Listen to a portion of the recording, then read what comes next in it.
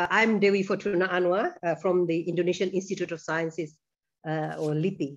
Uh, first, my uh, apology because I'm forced to use uh, my mobile phone uh, for these connections because I've just been having a computer crash. So um, I'd like to thank the organizer who's promised to assist me with the PowerPoint presentation. So if you have it there with you, please, can you show us the slides? Yeah, uh, since we only have eight to 12 minutes, we need to go very fast here. So uh, I'll just go next to the next slide uh, on the Indo-Pacific. Next slide, please.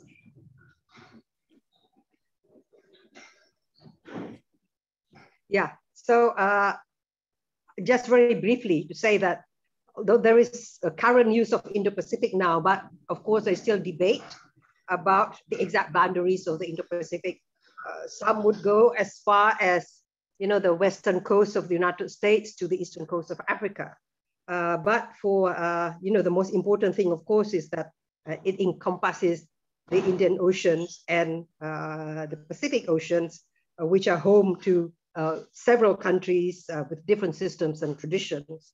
but for the purpose of the discussions on Indo-Pacific, the most common uh, definition of the geographic boundaries is the triangular uh, space uh, uh bounded by Japan to the north, Australia to the south, and India to the west. And of course, Southeast Asia is right in the center uh, of this uh, Indo-Pacific space. And, and also this you know, justifies Indonesia's ambition to call itself the global maritime fulcrum. Next, please. Yeah, uh, just a brief discussion about the uh, Indo-Pacific concept. Although people only started to talk seriously about the Indo-Pacific concepts when Trump uh, started to talk about it in 2017 uh, in Vietnam. Uh, of course, the Indo-Pacific concept uh, dated much earlier, and, but for the most common one, you know, that's been traced to Prime Minister Abe's speech in the Indian Parliament 2007. Uh, the Australian White Defense Paper also started to use the Indo-Pacific uh, as a concept since 2013. And also the Indonesian Foreign Minister, then Foreign Minister Marty Natalegawa in 2013 went so far as to propose an Indo-Pacific Treaty of Friendship and Cooperation. Uh, that didn't have much traction because, uh, you know, uh, that was the end of uh, 2014, uh, uh, Civil Wise presidency already ended and, and Marty Natalegawa's position uh, was replaced, so uh, that the Indo-Pacific was not mentioned for quite a while.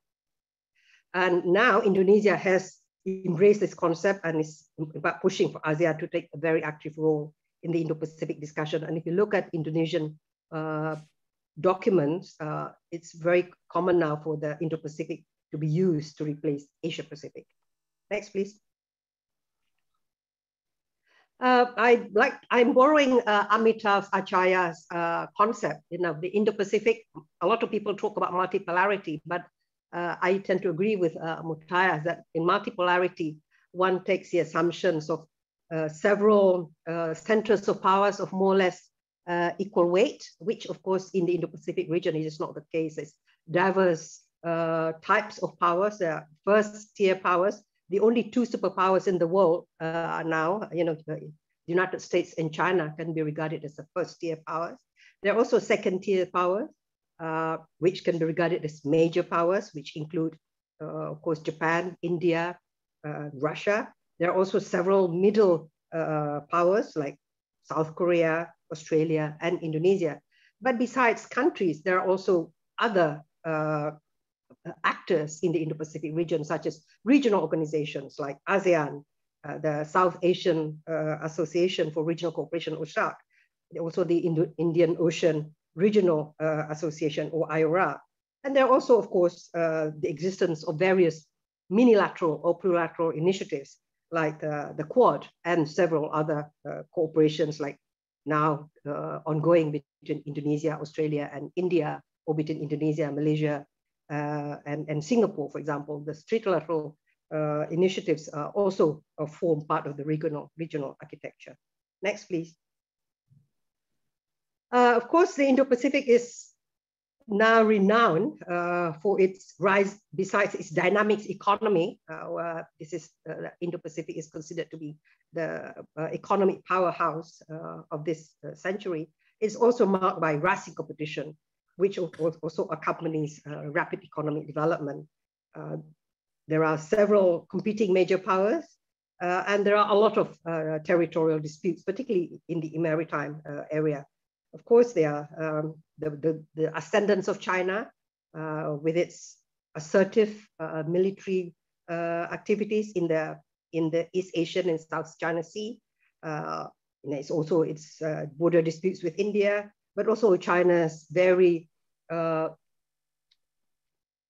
aggressive, we might say, outreach on economic activities with its BRI and so on has also been both uh, a cause for concerns as well as uh, opportunities. And the main theme in the Indo-Pacific now is, of course, this US-China rivalry, whether we are returning into a new Cold War. And you can also begin to see uh, this coalition rising to constrain China, is not to contain China, such as the Quad, uh, comprising the United States, Japan, Australia, and India. Uh, now I look to Indonesia, next slide.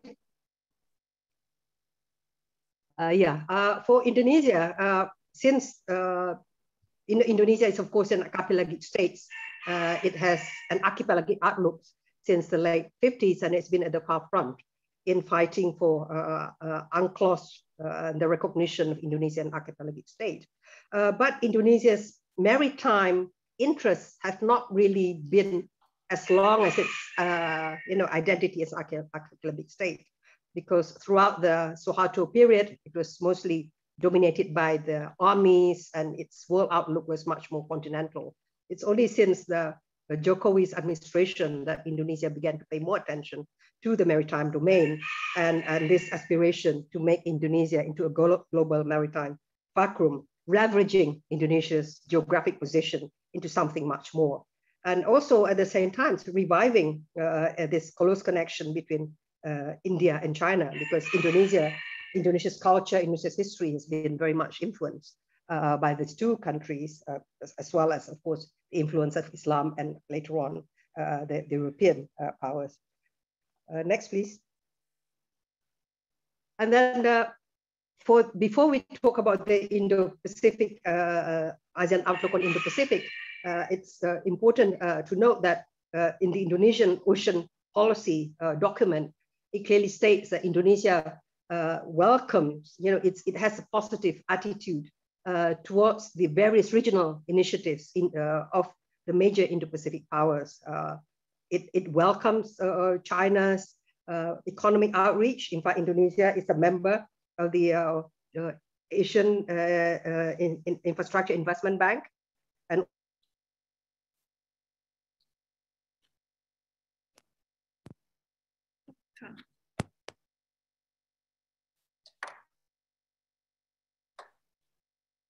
a bit of an interruption of the connection, seems to. Uh, with the United States. Uh, the focus for the Jokowi uh, uh, uh, government is very much in the economic development, particularly the infrastructure development. So if you look at the global maritime backgroup, uh, it's less about the hard security issues. It's more about economic development, developing connectivity, and, and, and particularly infrastructure. Next, please. And when we are talking about, you know, uh, the, this world, binary worldview of them versus us, which this is quite alien to the Indonesian uh, uh, uh worldview. Uh, Indonesia has, from the very beginning, supported a very open, inclusive regional architectures, uh, whether it is within the East Asian region or the wider Indo-Pacific Summit.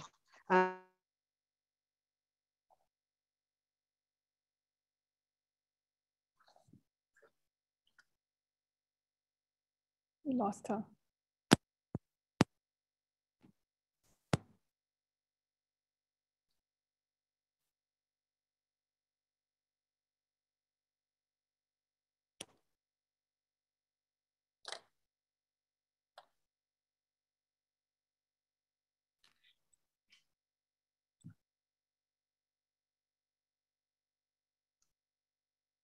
I assume that Professor Dewi Fortuna Anwar is trying to reconnect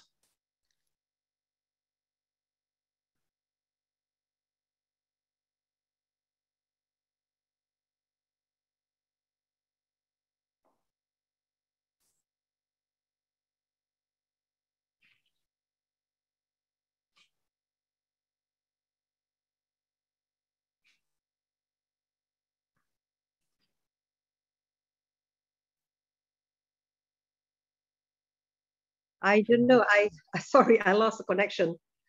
I lost about two minutes there.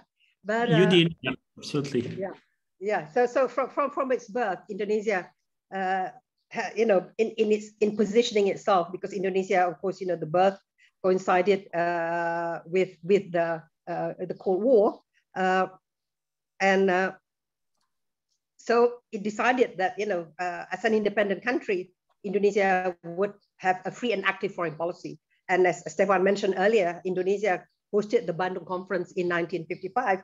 And this Bandung legacy continues to inform uh, Indonesia's uh, foreign policy. So for as a, uh, you know, active, free and active foreign policy means not joining any military alliances, not join, not bandwagoning with any uh, super camp, and also always uh, aiming uh, to preserve its strategic autonomy and the Bandung legacy is this peaceful coexistence uh, between different ideologies, uh, beliefs, and you know, political systems. So it's always been, you know, not not siding with any country, but preserving the agency uh, and and uh, at the same time, you know, trying to to work with with all sides.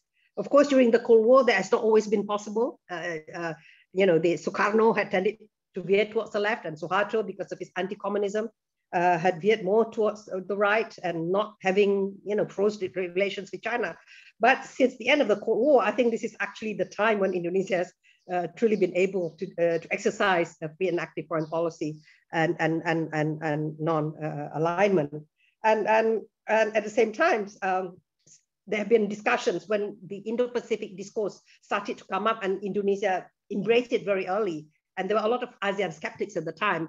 There was suspicion that Indonesia was abandoning ASEAN to embrace, you know, back to the future type of thing, that embracing a more global wide uh, uh foreign policy. Uh, and maybe, you know, ASEAN is no longer essential to Indonesia's foreign policy. But uh, that is not the case. Uh, uh, Indonesia continues to emphasize on ASEAN as the cornerstone of its foreign policy. But at the same time, it, it also opposes from very beginning any exclusive beyond ASEAN regionalism. Uh, next, please. Uh, if you remember, uh, you know, for, for those who studied history, remember when uh, Dr. Mahathir suggested a more exclusive East Asian uh, grouping, uh, Indonesia opposed that, in fact, and then supported a more inclusive APEC. Also, when there was suggestions before, when East Asia Summit was first discussed uh, to formalize the ASEAN plus three, you know, the 10 ASEAN countries with China, Japan, and, and, and, and uh, South Korea, uh, Indonesia was one of the uh, member ASEAN member countries that opposed it from the very beginning. So in the terms of reference, you know, about what kind of structure do we have, we need to have so that it's not exclude China. Uh, for if we look at the East Asia Summit, uh, the, the development, the concern was not not to exclude China, but not to make it Asian, you know, not simply. So from the very beginning, Indonesia had supported the inclusion of uh, Australia, New Zealand, uh, in, and, and broadening the, uh, uh, the East Asia geographic print to include India. And then, of course, you know, uh, also bringing in uh, the United States and, and, and, and Russia. So there was no appetite for a truly Asian ex exclusive architecture. So and at the same time, you know, there's also no appetite to exclude any countries now that Indonesia has developed very close relations also with China. Uh, the next, please. We, I have to go very quickly here. The, uh, and then uh, we know that Indonesia took a lead in uh, drafting and pushing for ASEAN uh, to develop, uh, you know, to have this discourse on Indo-Pacific so that, you know, the ASEAN, which is at the center of Indo-Pacific, would not be sidelined when other countries come up with their free and open Indo-Pacifics like Japan and the United States, you know, and other initiatives. It would, it would not be in ASEAN's interest uh, to, to, to be silent because then it will not be able to play centrality. So uh, as we know that uh, ASEAN outlook on Indo-Pacific, uh, that's what he mentioned here, uh, it's uh, re-emphasizing, you know, the, the, the, the, desire to keep ASEAN as a, a, regional architecture that is open, transparent, inclusive, and rules-based, and built on existing ASEAN mechanisms, both to promote norms and values, as well as to develop uh, functional cooperation. Next.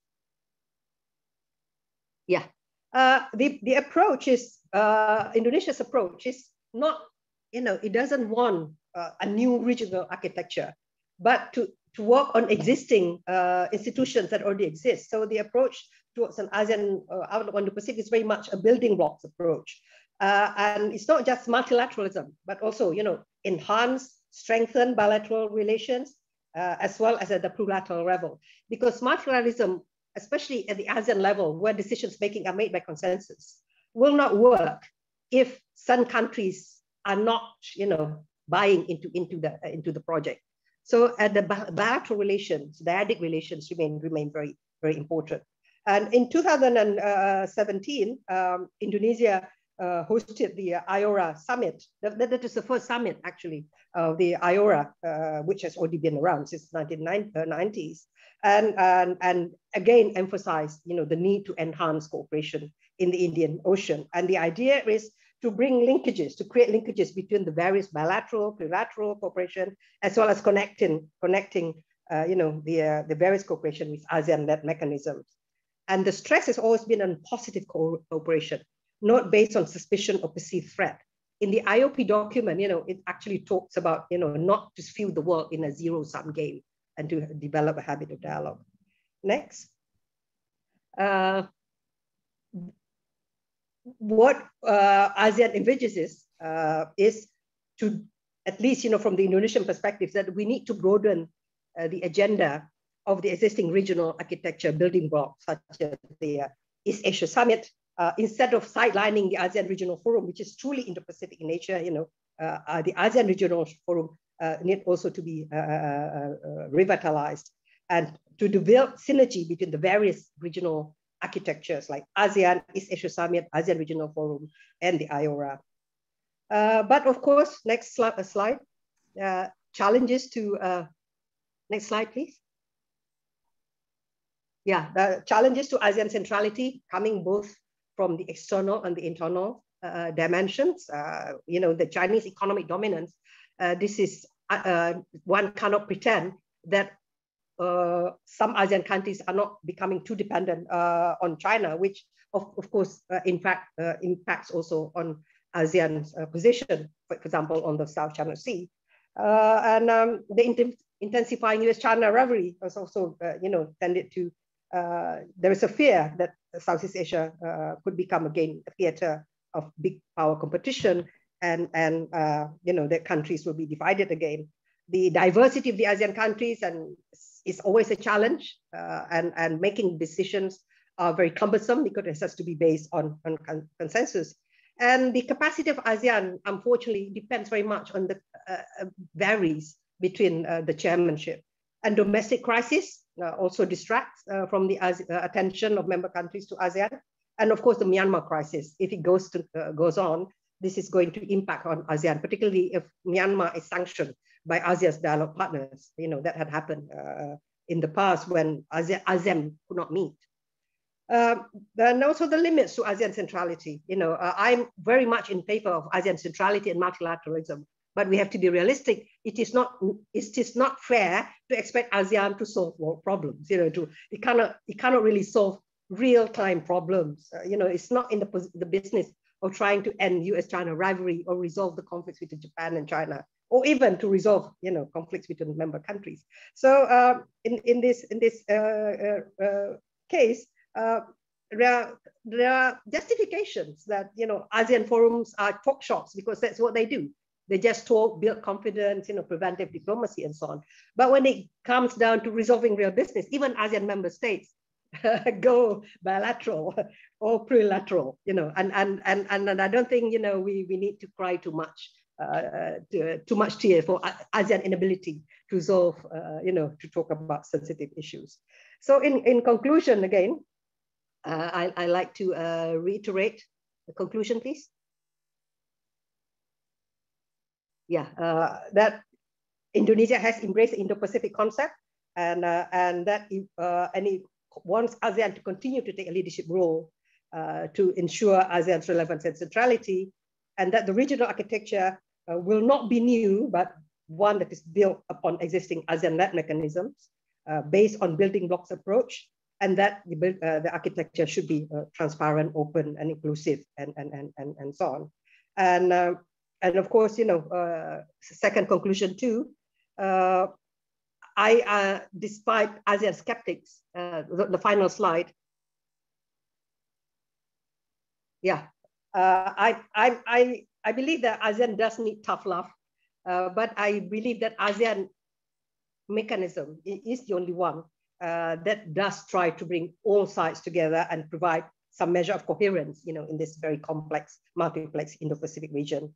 But ASEAN's unity and co cohesiveness uh, is, of course, essential. So this is for ASEAN. You know, we, we need to get our own house uh, in order. And in dealing with the uh, uh ASEAN's relations with external powers, I strongly believe, and I think Indonesia strongly believe, uh, that uh, ASEAN should be non-aligned, engaging with all sides, but becoming, becoming dependent on none. So back to that 1955 Bandung legacy, you know, I think I think that that spirit should continue to inform uh, the uh, you know ASEAN's approach uh, to relations with uh, with external powers. Thank you, Stéphane, and my apology for that technical glitch.